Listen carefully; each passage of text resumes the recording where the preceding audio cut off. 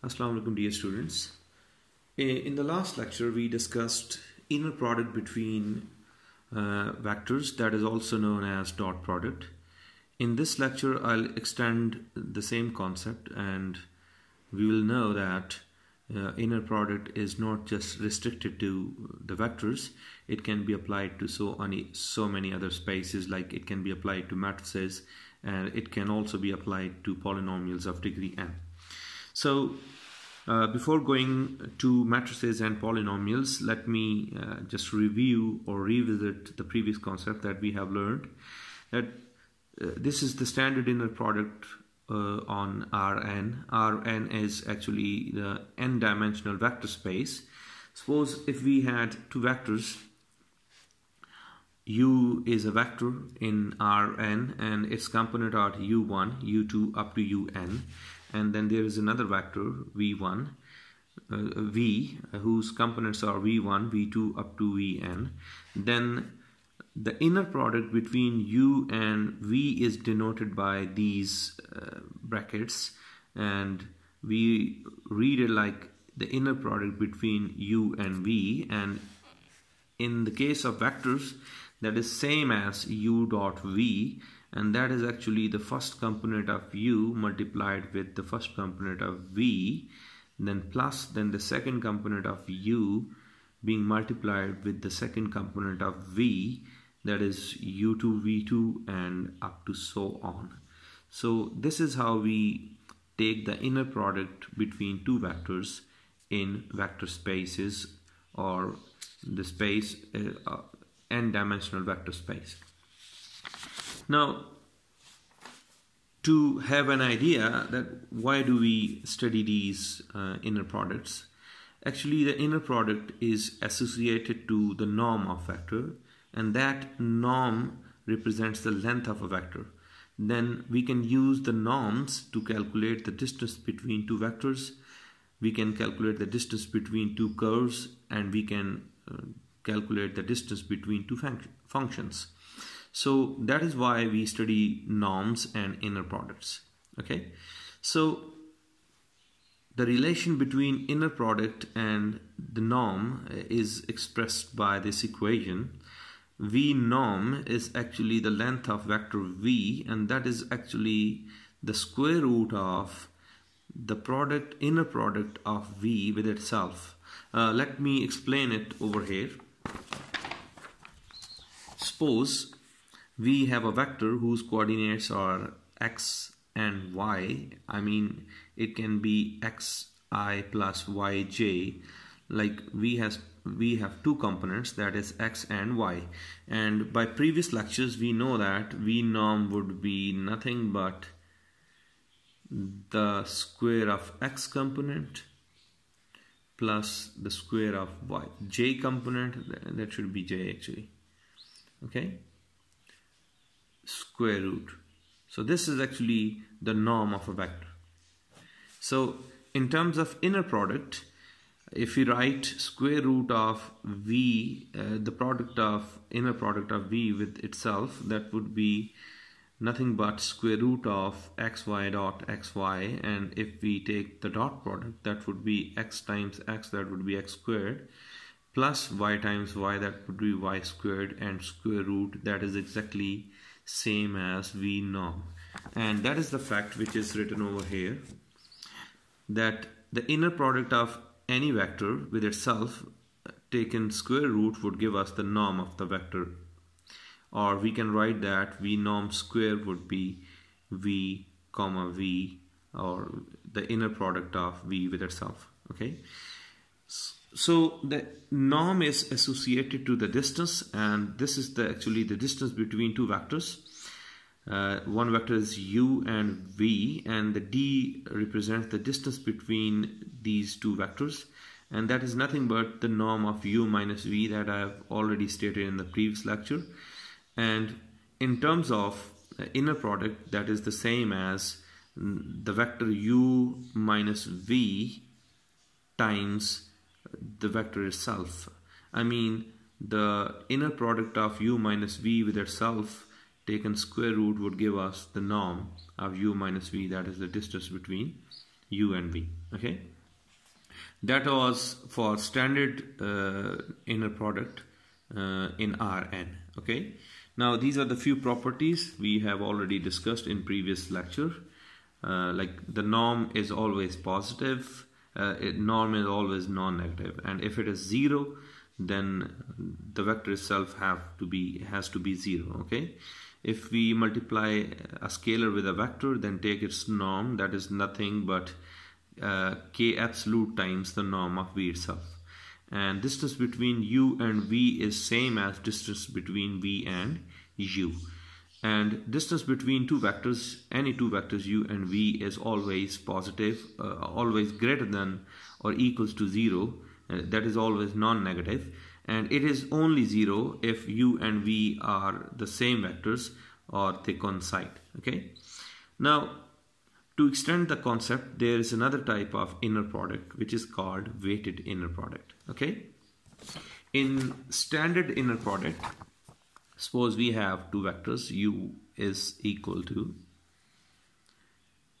u1, u2, u3, so on.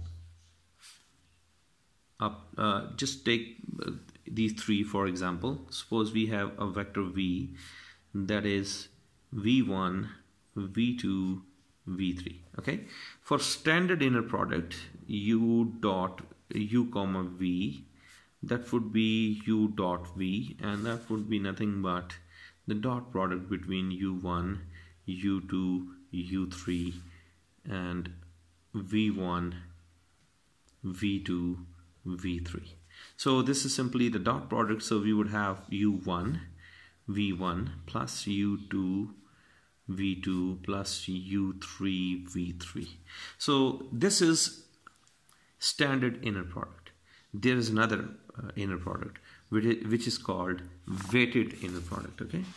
So to discuss weighted inner product we will have few weights. Like if we have u1 u2 u3 v1 v2 v3 then we will have weights W1, W2 and W3 and to find the weighted inner product that would be represented like this U V okay?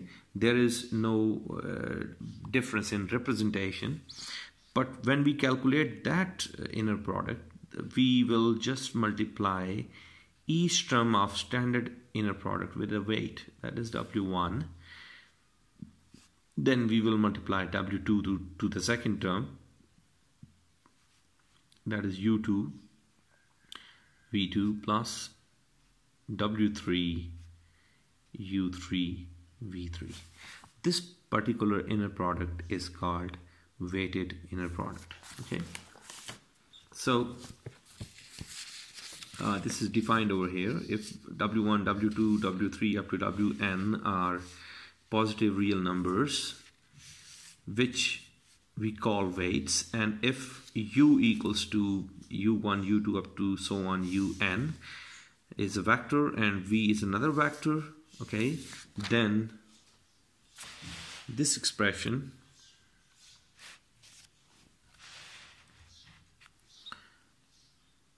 would be called weighted inner product and that I have explained uh, with help of a three-dimensional vector okay? So the inner product is not just restricted to uh, vectors. We can extend the idea and let me tell you the inner product between two uh, matrices suppose we are dealing with uh, a vector space uh, a matrix space of n cross n matrices then the inner product between two matrices is defined as the inner product between A and B is nothing but the trace of A transpose B. Okay, so here you might see few new uh, terminologies. Uh, one is a trace. Trace is actually the sum of diagonal elements in a matrix. And here A transpose is actually make, converting the rows of a matrix a into columns. Or we can convert the columns into rows that would give us A transpose. Okay? And uh, to uh, understand this concept, uh, I'll explain an, an example, and I hope that by that example you would be able to understand this concept. Okay. Now, again, norm of A is uh, expressed as an inner product of A with itself square root, and that is actually the trace of A transpose with itself okay now to understand uh, the concept of inner product uh, let me uh, take an example and here we have two mat uh, matrices one is U and another one is V U is uh, 2 cross 2 matrix and V is also a 2 cross 2 matrix. So we are dealing with M22 that is a vector space of 2 cross 2 matrices okay? So to apply the formula, we would have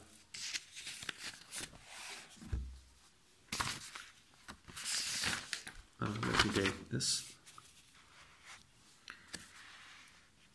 That would be the standard inner product between two matrices. Uh, let me remind you, previously we have done the dot, uh, dot product or inner product between uh, two vectors. Now we are applying an inner product between two matrices. So the matrices uh, are U and V and both of them are 2 cross 2 matrices and their inner product would be written as trace of U transpose V okay? And I have already explained the terms that is transpose, as, uh, transpose and trace. Okay we had U U was 1 2 3 4 to take the U transpose we just have to make this row into column. That is 1 2 row would be converted into 1 2 column. And the next row that is 3 4, 3 4 would be written as the second column. That is 3 4. So this is actually U transpose. And then there is a usual matrix multiplication. We multiply this matrix with this one and we get this answer and later on we have the final matrix in this form. So to take the trans, uh, trace of uh, this matrix, we just add the diagonal elements uh, on this diagonal.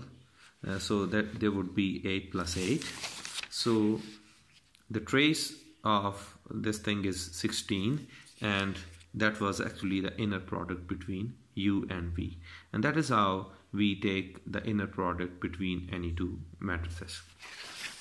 Now, uh, even for the matrices, u norm would be the square root of inner product of u with itself.